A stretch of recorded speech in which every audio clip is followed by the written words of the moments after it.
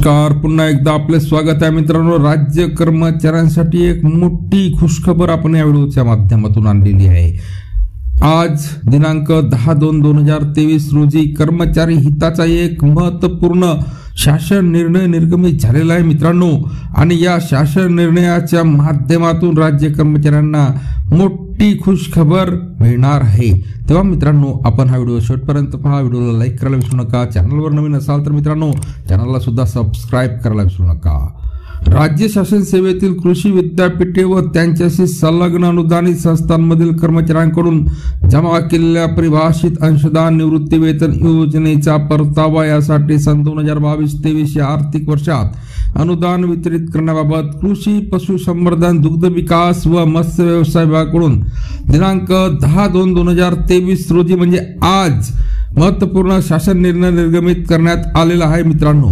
सन दोन हजार बावीस तेवीस या आर्थिक वर्षात राज्यातील कृषी विद्यापीठे व त्यांच्याशी संलग्न अनुदानित संस्थानामधील कर्मचाऱ्यांकडून जमा केलेल्या परिभाषित अंशदान निवृत्ती वेतन योजनेचा परतावा व सहावा वेतन आयोगाच्या स्तर दोन मध्ये जमा थकबाकीच्या रकमांचे व्याजासह प्रदान करण्यासाठी सहा कोटी पंचावन्न लाख एकोणचाळीस हजार रुपये फक्त इतके अनुदान विपरीत वितरित करण्यात शासनास मंजुरी देण्यात आलेली आहे.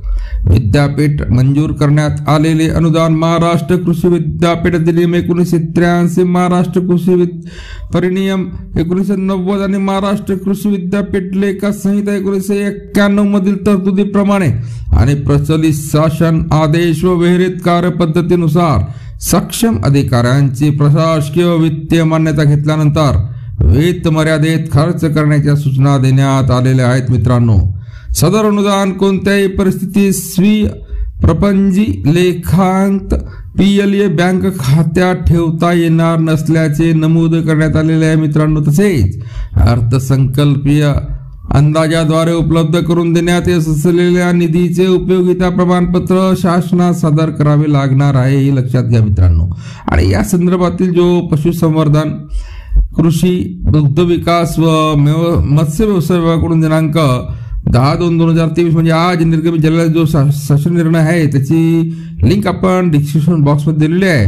त्यावरून तो तुम्ही शासन निर्णय डाउनलोड करून घेऊ शकता सविस्तर पाहू शकता. मित्रांनो यानंतरची बातमी आपल्या मित्रपरिवाराला सुद्धा शेअर करायला विसरू नका. पुन्हा भेटूया मित्रांनो पुढच्या व्हिडिओमध्ये नवीन अपडेट घेऊन तोपर्यंत धन्यवाद.